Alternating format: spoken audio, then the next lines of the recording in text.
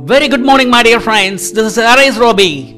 If you want to make a difference in someone's life, you don't need to be Georgious. You don't need to be rich. You don't need to be a celebrity. You don't need to be brilliant. You don't need to be perfect. You simply need to have concern and care. Yes, my dear friends, if you want to make a difference in someone's life, you don't need to be Georgious, you don't need to be rich, you don't need to be a celebrity, you don't need to be brilliant, you don't need to be perfect. You simply need to have concern and care.